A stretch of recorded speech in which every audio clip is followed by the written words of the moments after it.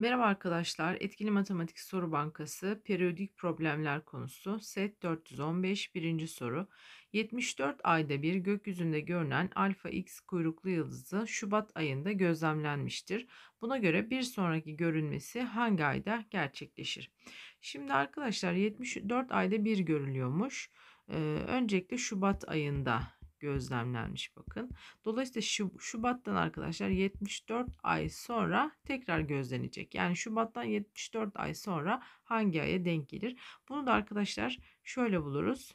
1 yıl 12 ay olduğu için 74'ü 12'ye böldüğümüzde arkadaşlar şöyle en son kalana bakacağız. Şurada 2 kaldı. Yani bu 2 ay sonraya denk gelecek. Çünkü şurada e, bir senede tekrar aynı şey döngüye girdiği için arkadaşlar şuradaki kalanlar bizim için önemli olacak. En son kalan e, kaç ay sonra olduğunu bize gösteriyor. Dolayısıyla 2 ay sonra Şubat'tan sonra Mart ve Nisan ayı cevabımız C şıkkı. İkinci soru, güneş döngüsünü izleyen bir bilim insanı Ağustos ayında güneş yaklaşık 152 ay önce yeni bir döngüye girmiştir cümlesini kuruyor. Buna göre güneş döngüsü hangi ay başlamıştır diyor.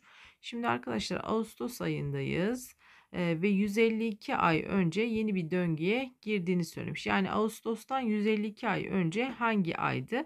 Dolayısıyla yine aynı mantığı yapacağız arkadaşlar. 152'ye 12'ye böleceğiz. Bir yıl 12 aydan oluştuğu için. En son kalanına bakacağız. Şurayı 12 ile devam ettirirsek arkadaşlar şurada en son 8 ay yani en son kalanı bizim için önemli. Çünkü aynı döngüyü devam ettiriyor.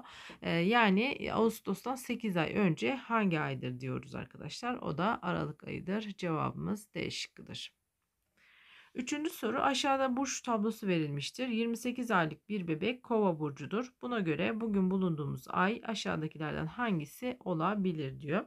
Şimdi arkadaşlar 28 aylık bir bebek kova burcudur diyor. Yani kova burcu Ocak Şubat aralığına giriyor bakın. Şöyle Ocak Şubat aralığında doğmuş bebeğimiz ve 28 ay geçmiş. Bugün bulunduğumuz ay diyor aşağıdakilerden hangisi olabilir? Yani Ocak Şubat aylarından 28 ay sonra hangi aylara denk geliyor anlamında. Dolayısıyla yine aynı mantık yapacağız arkadaşlar. 28'i 12'ye böleceğiz. Şöyle 24 yani 4 ay sonra arkadaşlar o da e, Temmuz ayına denk geliyor. Cevabımız A şıkkı.